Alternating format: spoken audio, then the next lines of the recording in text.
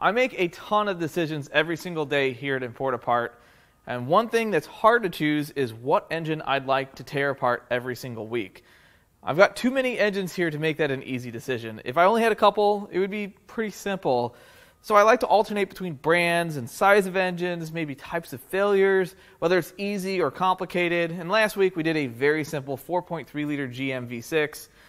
So I figured I'll go to the other end of the spectrum and we'll do another Mercedes V8. We did one two weeks ago, a bi-turbo M278. So today we're going to take apart an M156. This is the 6.2 liter AMG 63 engine. Comes in S63s, ML63s, E63s, everything 63 in the mid and late 2000s. And this is another core engine that seems to be in much nicer shape than the last one of these. In fact, I tore one of these down, I think about six months ago, maybe longer, and it was pretty wrecked. It was very wrecked. This one looks to be pretty nice, so I'm hoping I get a ton of good parts from it. One of the first things I noticed when I found this engine is that it has water in the plug wells because it sat outside at least for a short period of time and got rained on. Some of the places I buy engines from, they don't have the room to store their cores inside. I bought it anyway, and I was going to flip it over to get all the water out of the plug holes. And then I thought, hmm, maybe I should check the oil. And it turns out it's completely full. Drained. Haha, that's a good one. I suppose we should drain the oil first.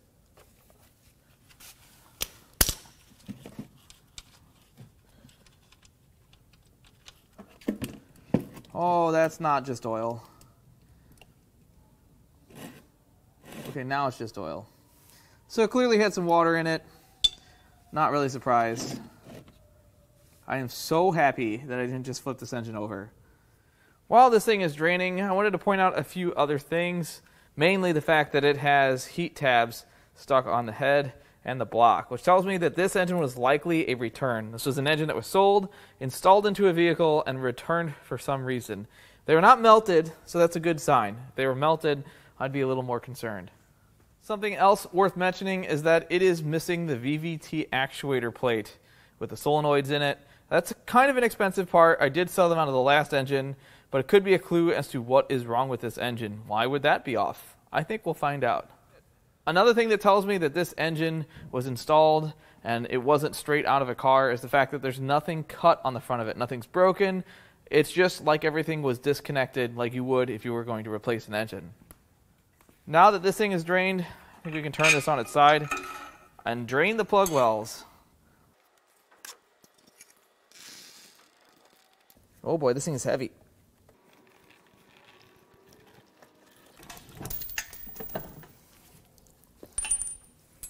Well, that was not ideal.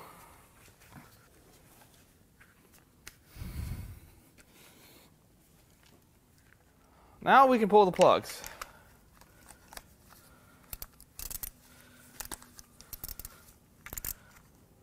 All right, so they're not very tight.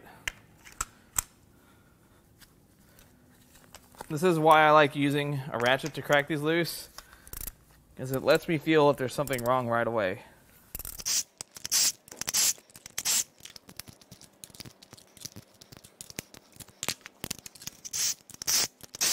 The plugs all look pretty good. Uh, nothing's been mechanically regapped. No signs of malice in the combustion palace. Nothing yet. No clues yet.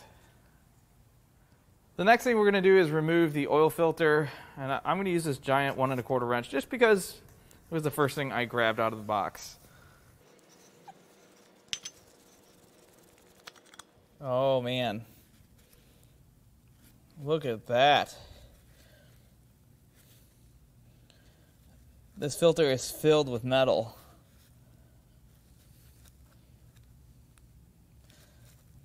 Well, that's not good. Cutting it was unsuccessful. I could probably cut it better, but why? I can already see how much. Ooh, there's some copper in there. Boy, that could only come from one place. Some large hunks of it. Well, the filter did its job. Somebody else didn't. Now we're going to prep this thing to pull the wire harness off of it. We're going to get the intake tube off, and then we'll pull the intake manifold. Oh, yuck.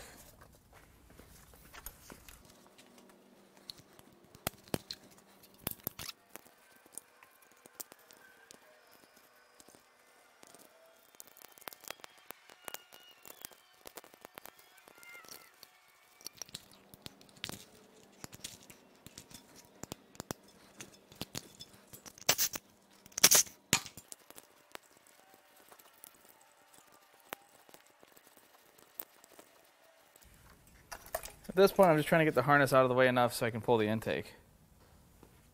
At this point, I've uncovered most of the bolts for the intake manifold, so we're going to get those knocked loose. I'm going to do this carefully. I do not want to strip these.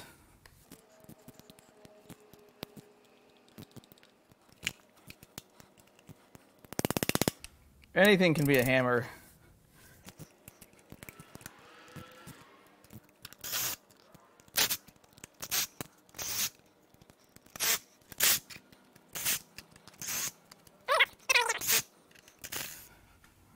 Should just come right off. Like I was saying, this should just, you know, come right off. Oh, it's running into some parts here. You know, I thought I was going to get lucky here. As it turns out, I didn't get everything disconnected. Okay, now it should come right off. Yeah, that came off. The intake ports all look okay. There's some standing oil, but that could be how this engine was stored. I mean, this thing was completely full of oil. I don't see any metal debris or bent valves.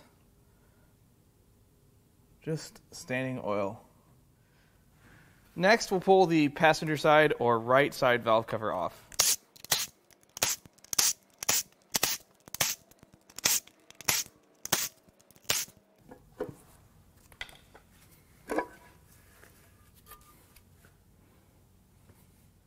If you remember the last M156 I did, it had a soft cam, a damaged bucket, and someone ignored that sound for a long time until the engine literally exploded. I don't see any signs of that on this side of the engine. The cams look okay. I don't really see any issues. It's pretty clean on this side, but there's still a whole other half of an engine.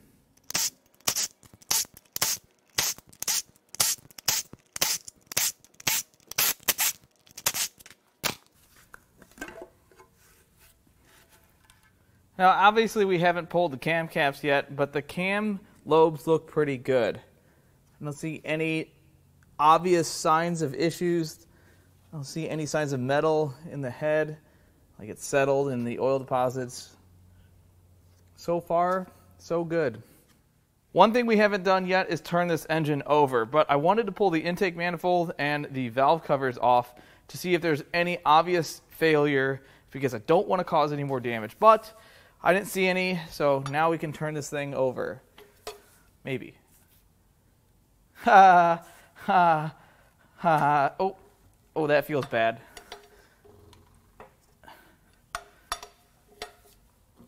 This also allows me to get a better view of the cams, and wow, that is not okay.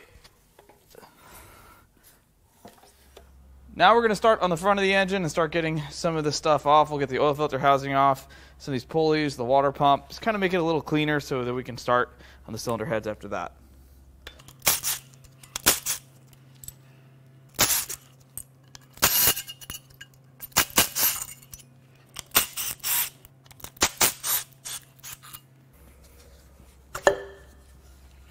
Had to pull hard.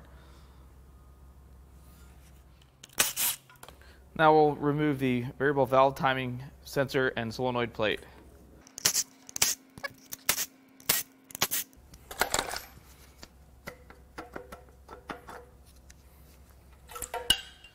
Oh, that oil does not look good. It's got some sparkles in it. It's not a good place for sparkles.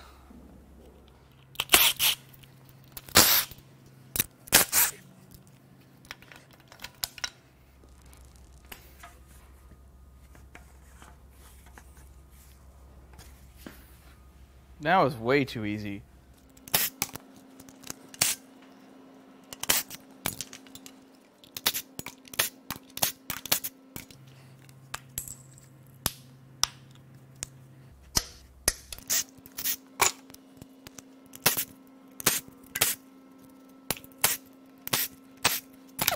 Even the water pump says AMG on it.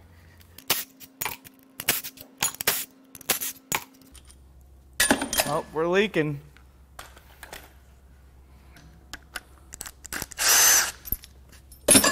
One more T30.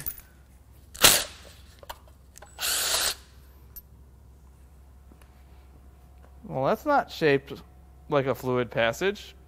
I mean, maybe European kind.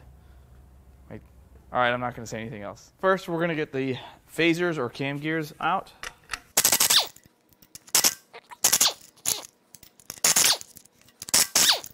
Now we'll start with the left or driver's side cylinder head.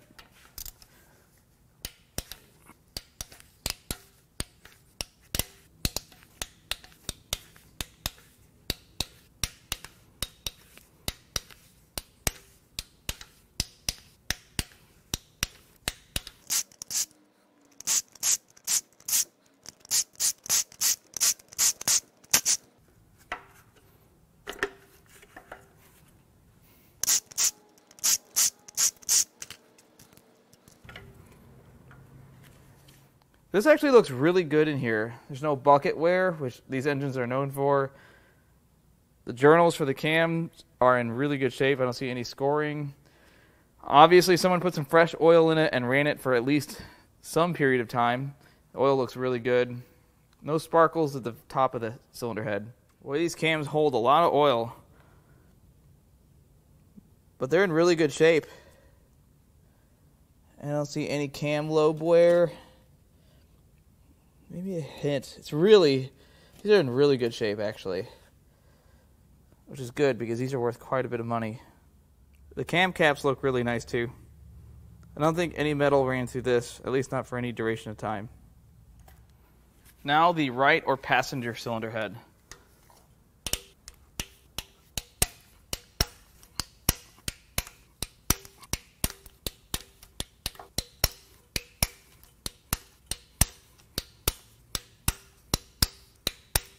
All right, let's zippy doo dah these out.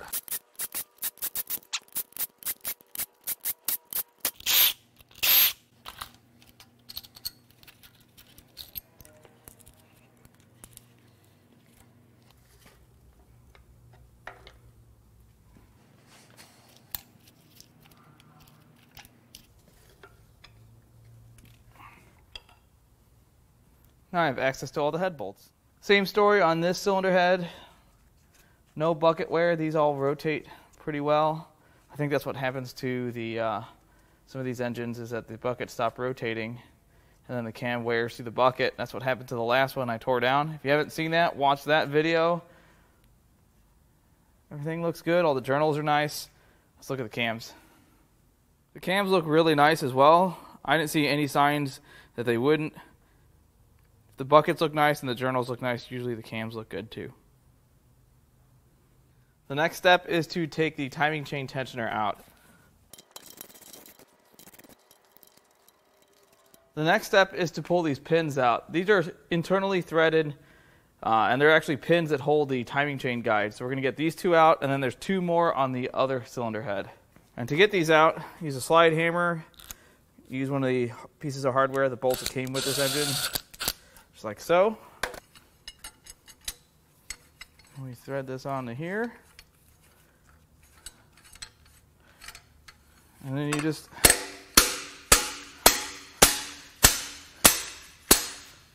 and the pin comes out.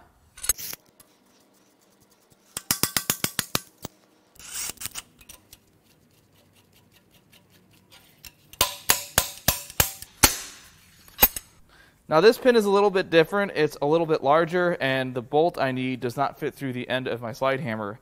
So I'm going to kind of rig up a puller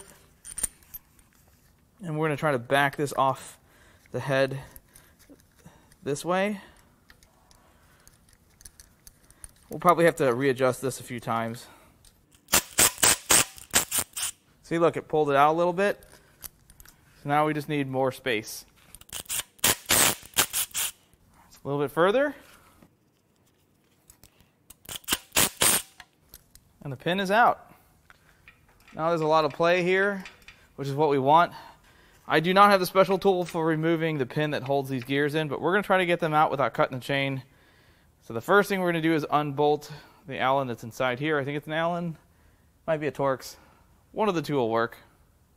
So now we're going to remove the bolt that holds this pin in. And we're going to use a T30, although I think I think it's a 5 millimeter hex, but we're just going to use a T30. Don't look.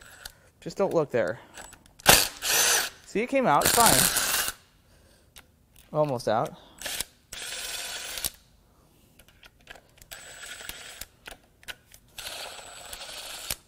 Whatever, it's loose. Oh, it's definitely an Allen. Eh, T30 works fine. I take a pair of needle nose and I stick one part of the needle nose pliers in the pin, and the other set sits on the threads carefully, and then I can use that to rotate this. It kind of like breaks the seal free, and I have an idea to remove this without the special tool. The last engine, I didn't think about this, and I ended up cutting the chain, but we're not going to do that this time. So I've got an attachment for my slide hammer. I'm going to stick it in the hole here.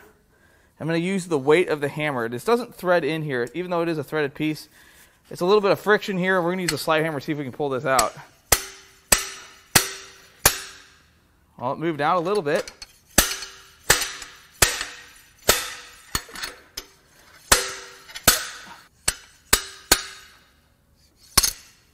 All right, got that pretty far out. I am very surprised that worked.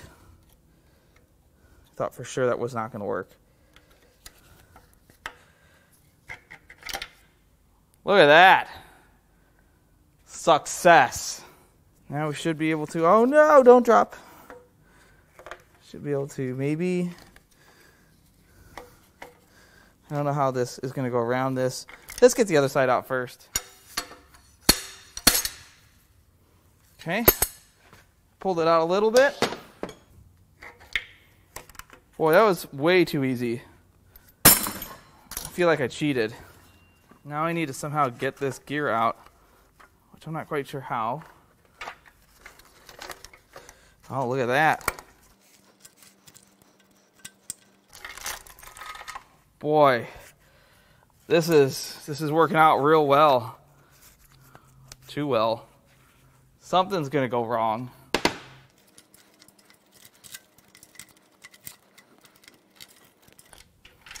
Oh, that was too easy. Before we go to get the head bolts out, we need to take this out of the way. Get that done. Before we get the head bolts that surround the combustion chamber, we're going to get some of these other head bolts out. There's just, uh, looks like four T45s.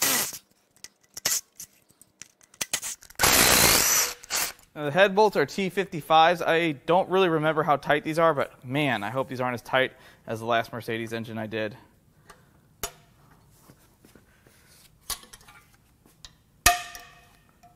Nowhere near.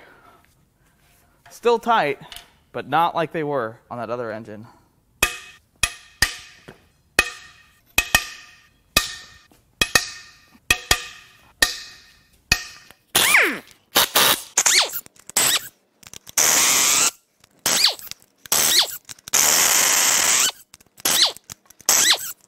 Looks like this is going to come out with the head bolts. So yeah, this will be fine.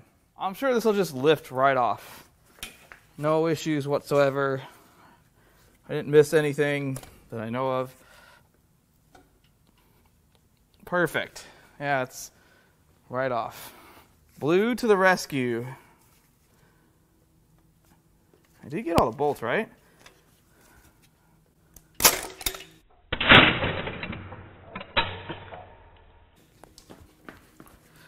That did not feel good. I don't know what I hit with my hand, but man, right in the. All right.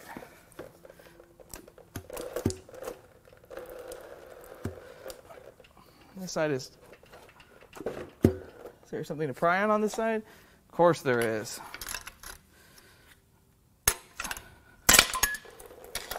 It's just tough sitting on those dowels It's loose, but it is not coming off.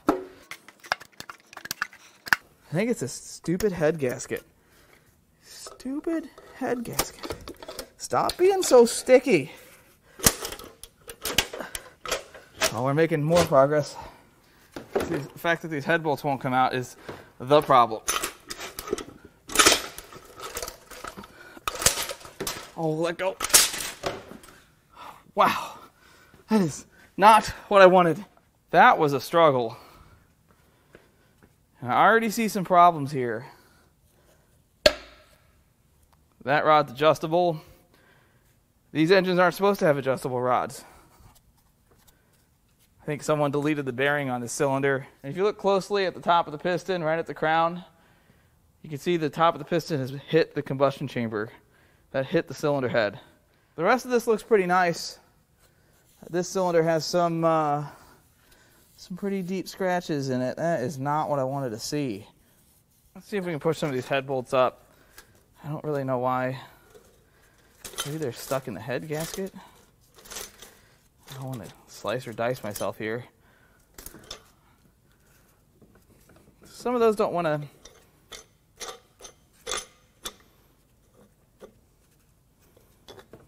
Okay, we just have uh, one, two, three, four, five, five unreasonable head bolts. And this head has clearly had an impact from that piston. The other combustion chambers look really nice, and this really isn't bad. It's not dented or majorly damaged. It's just you can tell that the carbon has been cleaned off by that impact. All right, let's knock these things through here.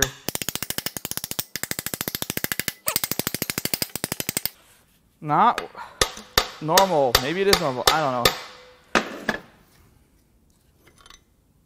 Oof. These do not look good. I'll show you these head bolts in a second. I know a lot of you are cringing right now. I'm also cringing. Just want to let you know it's a shared response. We are living in this moment together where this idiot on YouTube is using a hammer on head bolts aimed at the mating surface. Fine. I mean, I am using aluminum. I should probably use something else. So here are the head bolts, and you can tell which ones came right out. These came right out. This one's rusty. And then the rest of these, they're like galled up here, around the shank and the top part of the threads. That's why these didn't want to come out, and that's why that cylinder head fought me so hard. So ridiculously hard for what it was. Now the same process on the right or passenger side cylinder head.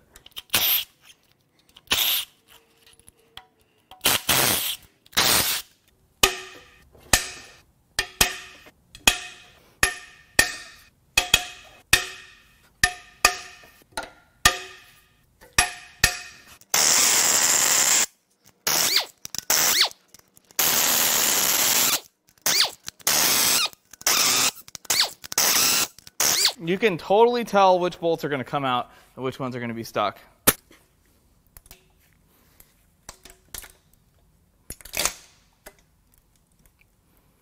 Well, it's, it's getting there. Let's see if that did anything. Well, that's not, that's not what I wanted. That's perfect holder for that.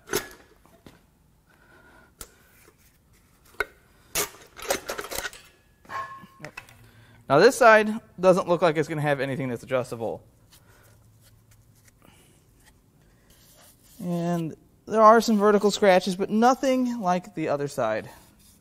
This side looks all right. Ha, it was the only one like that. And eh, maybe another one.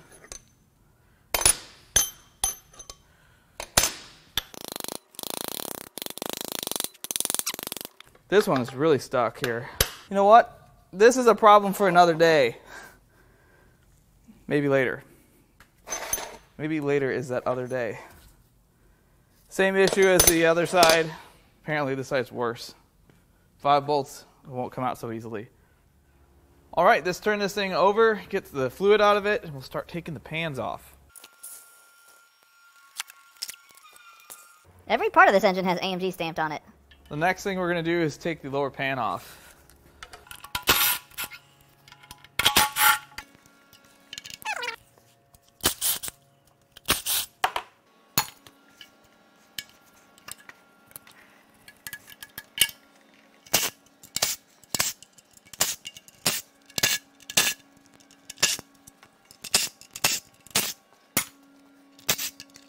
We'll get it.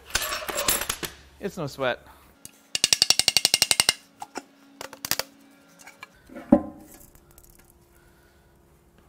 Oh. Whew. I've seen some stuff before, but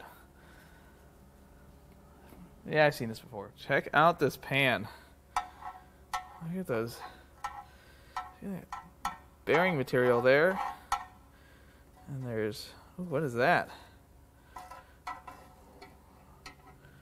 Is this? Identify yourself.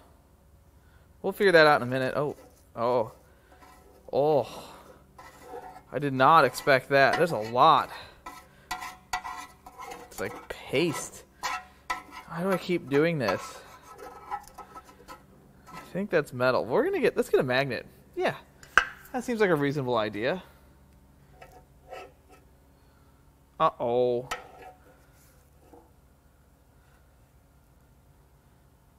Well, that's not a good sign. How does it create so much of it? You know, we've seen a lot of, of spun bearings, a lot of disintegrated bearings, but this is a lot of material. It's like a bearing material factory, but not organized the way you want it. Now let's pull the pickup.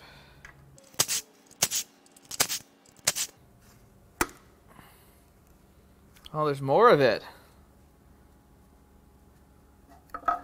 So the question is, what is this? It's a rubber seal.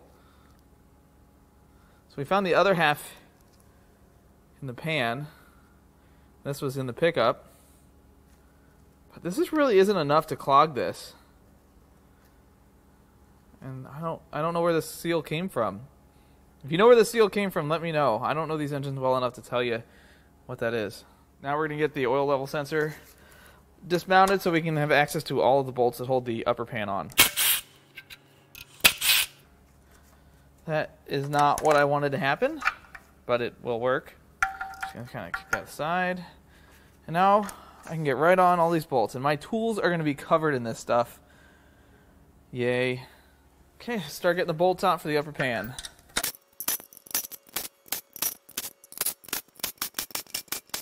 Alright, in my head, I got all the bolts out. So this should just come right off.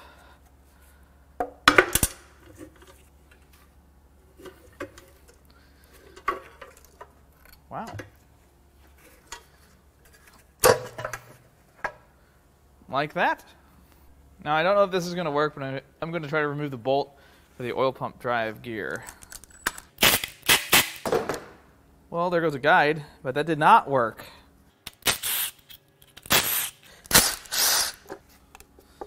All right. Now I don't know what to do.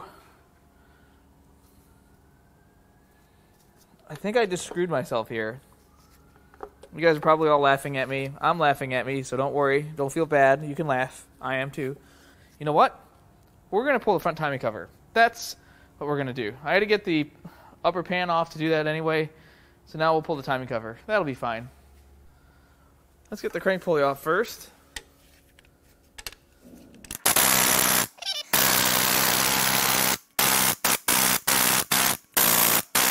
All right, that one's not doing it. Let's get the big one. I think that's tight.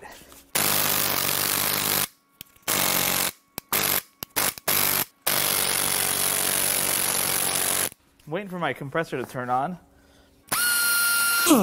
there we go. We'll let that fill up and see if I can get it with a blast. All right, let's give this a try. Come on.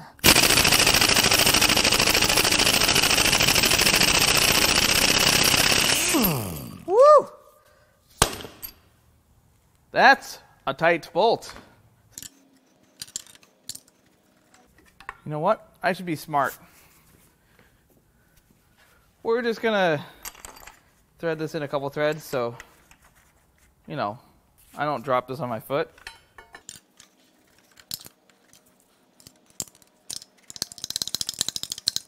Okay. Just like that. Now I have about 75,000 T45s to take out, so we're going to get started.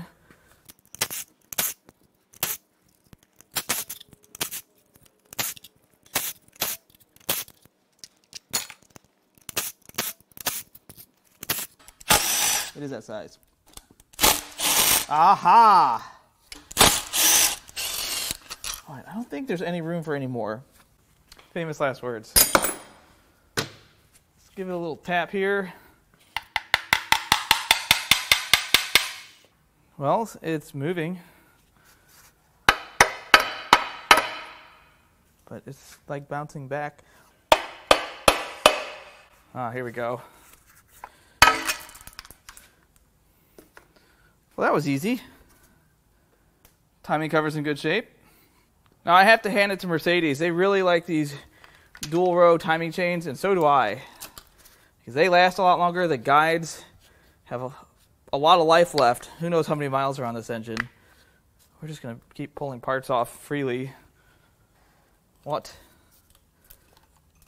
Ah, that's a neat piece. Oh, there's a big old spring there. I should be careful. You know how springs are on this channel. There, took the tension out of it.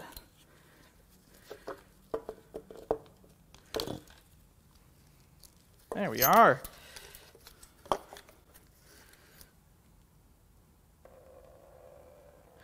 More oil.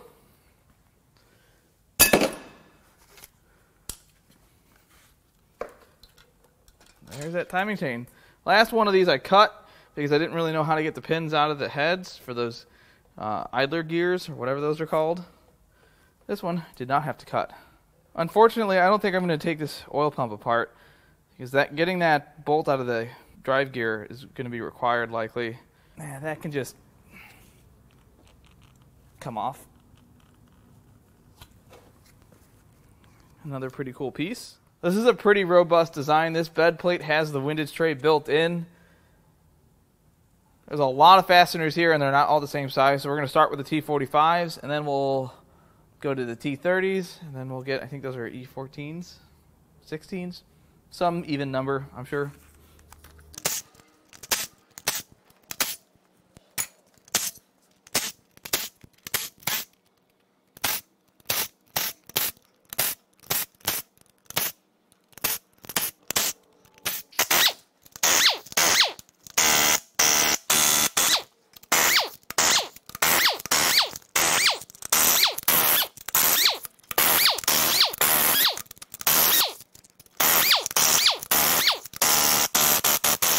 Question is, did I get all the bolts out? Nope.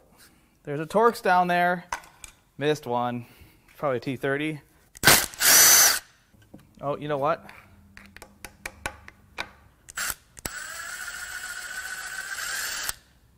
There was a bolt there, hiding in the murky oil. Oh, that's much easier when the bolts are out. Well, I can see some problems already. Several of them, actually. That's a problem. The rest of these look okay. Uh, this crank's probably going to be pretty rough. Uh, let's start getting some rods and pistons out. That's all we got. We got eight rods and pistons and the crank, we're done. All right, we're going to turn this over. We're going to start at the front. You always, always go front to back. Who goes back to front?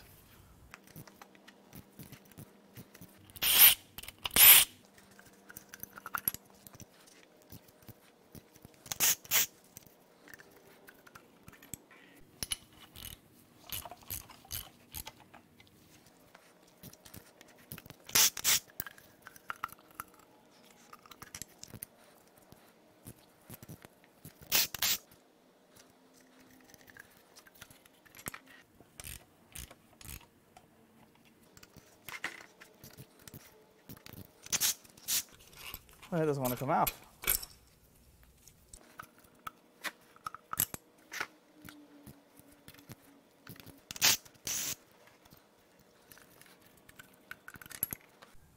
All right, now let's rotate this crank over to the problem pair. As you can see, the discoloration on the crank, it's really dark compared to the other journals. This has all been heat treated, and not in a good way.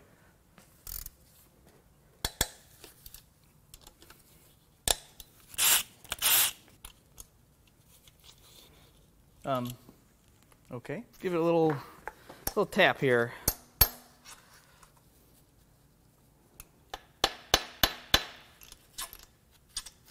Nope, didn't like that.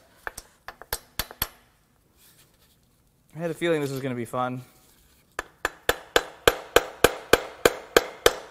There we go. All right, so it seems like, yes, I can get the rod out, and that is part of the crank. So that, that's real cool. That doesn't come off, but the rod did, which hasn't happened before. Oof, there's no bearing there. You got to have bearings. Oh, it's still, oh, it's on the crank. All right, now we're going to take this last one off. This one's just going to kind of hang out here. It'll be fine. Real question is, can we get the other one out?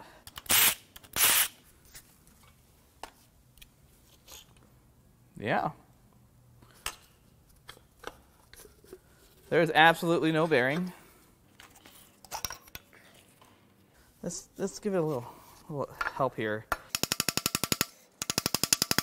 Nice. Okay. Let's get the bolts out. Believe me, you. Old blue to the rescue. Whoa. That bearing is not very bearingy. Surprised it didn't spin. Wow. That's does this spin over nice? That part that crank spins over nice. Well, there's only one more thing to do. Oh, come on. Rear main seal. From front to back, you can see that the bearings get significantly worse. Coincidentally, that's further away from the oil pump. This is where it starts to get pretty bad. And you can see those bearings there. Those are really bad. Those are also really bad. And you can see the rods. Look at all the heat in the rods. I bet you that one's egg shaped from hammering. They tried to keep this thing running. They ran it probably until it wouldn't run at all. As you can see, number eight piston, that's the cleaned area where it made contact with the cylinder head because the lack of rod bearing allowed that piston to travel further in the bore and smack the cylinder head. The rest of the pistons look okay, but these do have some wear, especially further away from the oil pump on the skirts. They're not not great. They're not awful. And that one's pretty bad. Okay, maybe they are kind of awful. Yeah, that's not good. Not good at all. The main bearings look good, surprisingly. No signs of damage. A little bit there on the thrust bearing, but not bad at all. One thing to note about this crankshaft look at the front of it and look at the back of it. I'm sure there's a reason behind this. And there's that torn up journal. You can see there's a pretty good height difference here. Nothing's plugged full of metal. This is a classical oil starvation situation. The bores are not great. They have several vertical scratches, gouges. You can feel them with your fingernail. There's some good example right there.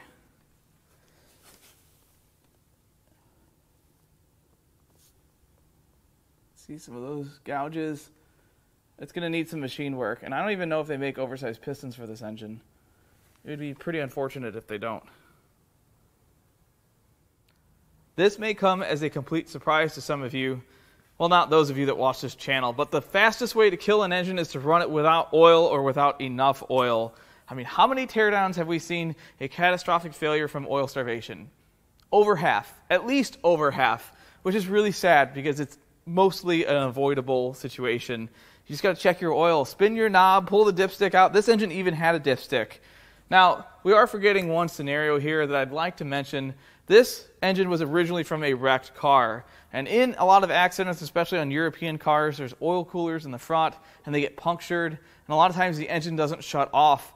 So it could have been a situation where the engine evacuated all of its oil through a breached oil cooler or line and it starved itself. That kind of stuff happens. I've had engines that have sucked in coolant from the collision and bent rods wild scenarios do exist. Now, I'm really happy that this engine had a ton of parts on it. The M156 is a very special engine. I really do like this engine. It's not super complicated. Not like the M278. This engine is, in fact, much simpler.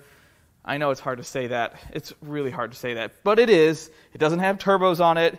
And this engine has a ton of good parts. It's one of the most lucrative cores that I've had in the shop, and this one has a ton of good parts. Now, if you haven't seen the previous M156 teardown, that did not have as many good parts. That was a much worse failure, a common failure on those engines. So if you haven't seen that video, I suggest you watch it.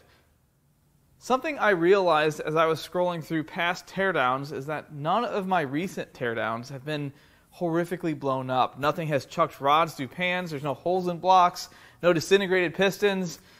What am I doing? I know you guys are craving that carnage, you want to see destruction, so next week we're going to take apart an engine that's really, really, really blown up. It's also really heavy, and it's based on a very old design. And you're just going to have to wait to see what it is. But if you'd like to buy parts off of this M156 or any of the other engines that I've torn down, I'm going to leave our email in the video description. And as always, I love all the comments, all the feedback, and even the criticism. I love it all. And I'll catch you on the next one.